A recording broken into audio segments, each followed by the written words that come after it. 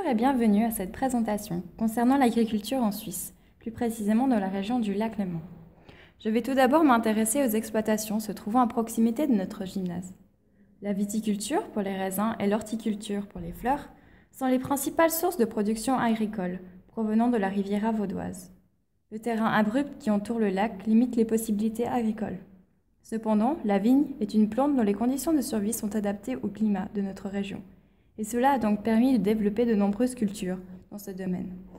L'horticulture, quant à elle, est un domaine dont la production est beaucoup plus difficile, mais reste indispensable pour subvenir aux nécessités des places publiques en termes de décoration esthétique.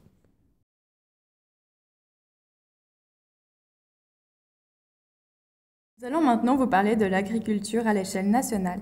Pour cela, vous allez pouvoir observer comme exemple le développement agricole de Genève, une des plus grandes villes de Suisse.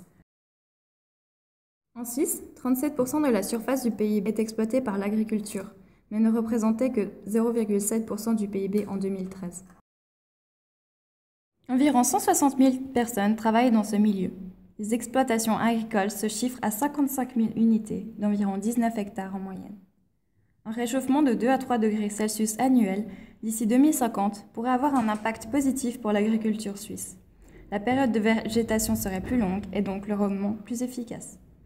Un réchauffement supérieur à 2 à 3 degrés provoquerait un manque d'eau, moins de pluie et plus d'évaporation, ce qui pourrait entraîner une sécheresse.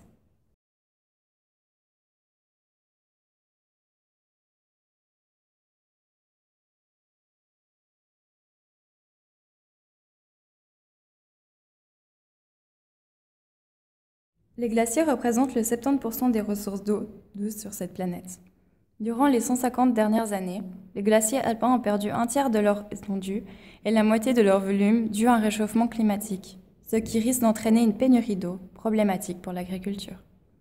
Je vous remercie d'avoir visionné ma présentation et j'espère que vous avez apprécié son contenu.